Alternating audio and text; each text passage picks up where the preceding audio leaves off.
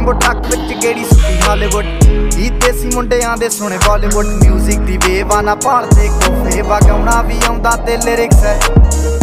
ਚੰਗੇ ਜਿਹੜੇ ਚੱਲਦੇ ਸੀ, ਕਿਸੇ ਤੋਂ ਨਾ ਠੱਲਦੇ ਸੀ, ਉਹਨਾਂ ਦਾ ਬਣਾਉਂਦੇ ਆ ਕਲਾਉਨ ਮੁੰਡੇ। ਬਰਾਉਨ ਮੁੰਡੇ। ਆਉ ਦੇਸੀ ਜੇ ਗੀਤਾ ਟਰੈਪ ਜੀ ਬੀਟਾ ਸਿਰ ਕੱਢ ਕੱਢ ਦੇ ਸਪੀਕਰਾਂ 'ਚ ਵੱਜਦੇ ਬਰਾਉਨ ਮੁੰਡੇ। ਬਰਾਉਨ ਮੁੰਡੇ। ਆਉ ਦੇਸੀ ਜੇ ਗੀਤਾ ਟਰੈਪ ਜੀ ਬੀਟਾ ਸਿਰ ਕੱਢ ਕੱਢ ਦੇ ਸਪੀਕਰਾਂ 'ਚ ਵੱਜਦੇ ਬਰਾਉਨ ਮੁੰਡੇ।